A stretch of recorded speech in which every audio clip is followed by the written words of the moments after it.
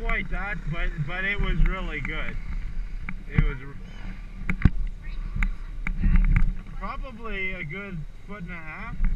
I got it on the video. Here, kill your mark. You're doing really good, buddy.